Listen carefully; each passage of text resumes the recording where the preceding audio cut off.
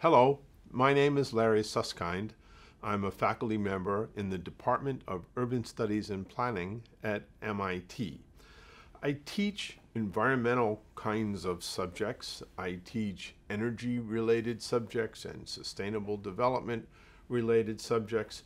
But what I want to talk about today is the rather startling moment we find ourselves in where people are opposing new renewable energy projects in their community.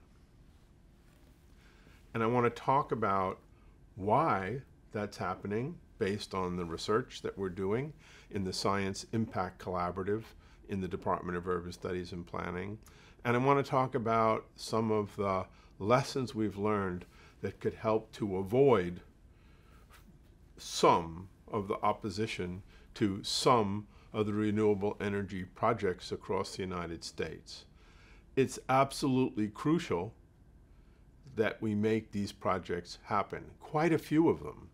The way to reduce CO2 emissions is to build or make a transition to and build renewable energy facilities, whether those be onshore wind, offshore wind, solar, rooftop solar, solar arrays of a large scale, geothermal plants, and I think some people would argue hydroelectric plants should continue to be listed as renewable energy facilities, and some people would argue nuclear power plants should be listed as renewable energy facilities. The ones I've been looking at primarily are solar, wind, geothermal, and the transmission lines that allow the energy produced in one place to be used in another place.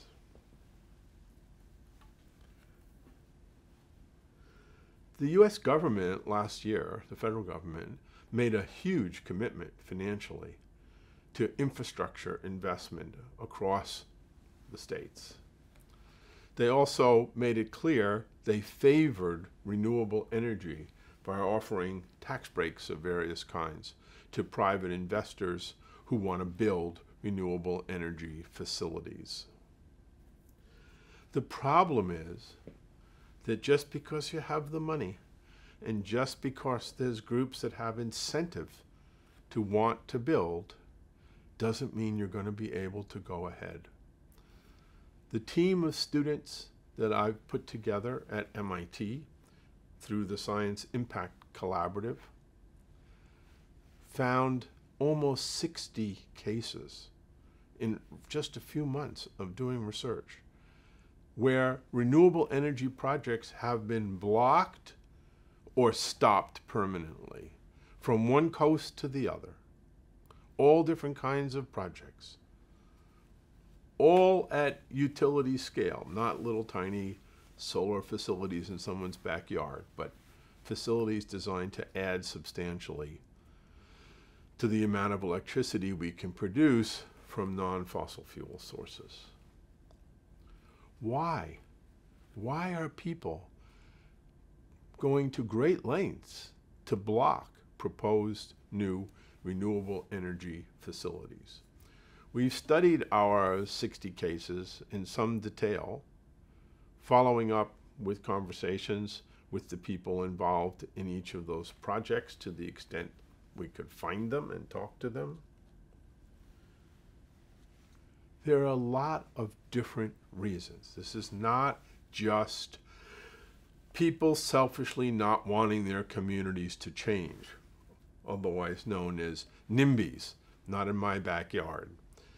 There's an assumption that if someone's opposed to something that someone else wants to do, it's because they're selfishly protecting their own place, their own interests, and not willing to do something for the good of the whole community. That turns out not to be the case in all of the controversies that we've studied. Instead, let me give you some examples of what we found. In the West, in particular, Native American tribes sued and intervened to try to stop facilities proposed on their land with no consultation with them.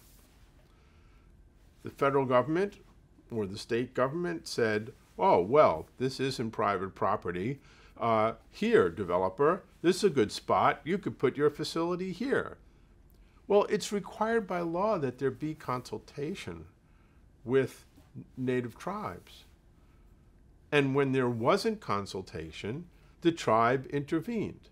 It intervened not just because it was supposed to have a role in making this decision, but often because the particular plans that an investor from away had come up with picked exactly the spot in the land that they were sold or given where there were remains, historically significant remains of earlier ancestors, buried, artifacts buried, sacred sites. How could they pick in a large area exactly the spot that needed to be preserved and protected for ceremonial and religious reasons? Because they had no conversation with the people in the place. They used satellite data, they picked a spot, they got permission, they put a plan together as fast as they could, and they came to the regulatory authority for permission, and that's when the tribes heard about this.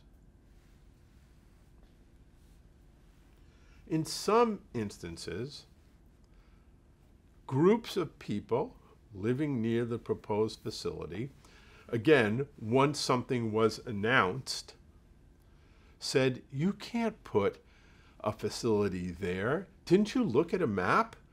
That's an endangered and protected habitat. It's already mapped as a protected habitat by the federal and state government. What are you doing? You have thousand acres. Move it. Well, no, we have a plan. We paid an engineer to design our facility. We've laid everything out for this spot. We put our application in. We're seeking permissions from the regulators. There's nothing about what we're proposing that's illegal. And then the others would say, oh, yes, there is. You can't be encroaching on endangered habitat. And then we go to court. And the project would be at least delayed and often stopped entirely. In some instances, developers had no interest in letting anyone know what they had in mind because they didn't want the land they didn't own yet to suddenly go up higher in price. So they secretly threw what are called straws through people who didn't, in fact, say that they represented a facility developer, bought the rights to use certain land for a facility, and then again designed it as quickly as they could using standard designs brought to them from different engineering consultants, only to discover that they had to also prepare an environmental impact assessment in order to get a permit. And the assessment made very clear that what they were proposing in terms of location, design, mitigation, compensatory options for people living nearby, were inadequate. They certainly weren't the least environmentally harmful version of the project that could go ahead, and people objected. Again, we went to court in these instances, or we were engaged in political delays that slowed or stopped regulatory or permitting activities. In at least two states, legislators decided it was so important to build renewable energy facilities, and the developers pressed the elected officials to let them go ahead because climate change requires shifting to renewable energy. That the legislators preempted the normal local reviews. So, local governments who usually have decision power over land use decisions found that in this case, too late, too bad, decisions were being preempted by the county or the state. That just caused the unit of local government to sue, and to politically seek some kind of redress in the state legislature. And again, opposition and delay. We found a whole series of instances in which projects were stopped. But in 14 of our 60 cases, they were eventually built. That wasn't because the developers won in court and shut down local resistance. It was because the developers opted out because the delay meant they weren't going to get a return on their investment fast enough, so they basically sold the site and the idea of the facility to another investor at a reduced rate. And what did the new investor do? What the first investor should have done sit down and talk to the people who are upset about what was proposed. Oh, you mean the turbine is going to only be 50 feet from your house? Well, that's terrible. Why don't we move it over here and change the array? Oh, okay, fine, then we'll support your plan. Farmers who were saying that you're asking the city, the town, to rezone the land industrial right next to us. We're an agricultural zone. There'll be so much pressure to convert our agricultural land to industrial land that farming will become untenable. Oh, okay, let's work with you to pass a new plan for the whole town, a new master plan that designates new regions on a permanent basis, new land use areas on a permanent basis, and not do this piecemeal. There were so many instances, 14 in particular, in which conversation aimed at understanding the interests, the needs, the values of local people led to a joint problem solving conversation that then allowed the project in a new and different form in a slightly different location with somewhat different technology with compensation to people adversely affected with promises to do things off-site that that community required as an indication of enough environmental benefit to counteract what were unavoidable environmental costs.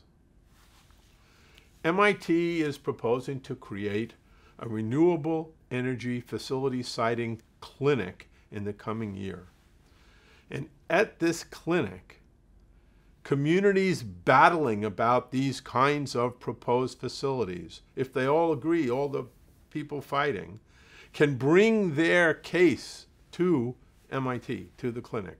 And student teams will work with all sides and a professional mediator to try to engage in joint fact finding, to try to engage in collaborative problem solving, and to come up with a version of the project plus, where plus is what it takes beyond the original proposal to meet the interests of those who are adversely affected by the proposed facility. Just because the facility's positive all the gains to all the gainers outweigh the losses to the losers doesn't mean it should be a go.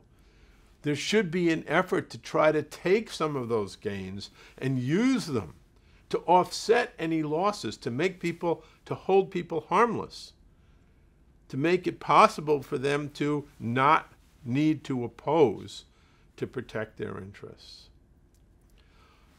It's very worrisome there are other states right now, and there are philanthropies supporting efforts in other states to try to preempt local review on the grounds that it empowers NIMBY behavior.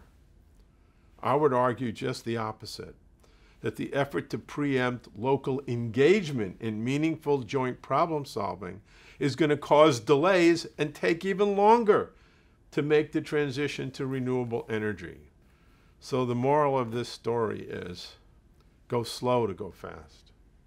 It's absolutely crucial that the people who will be affected by renewable energy plans, as important as they are to meeting our climate goals, have a say in how those projects go forward.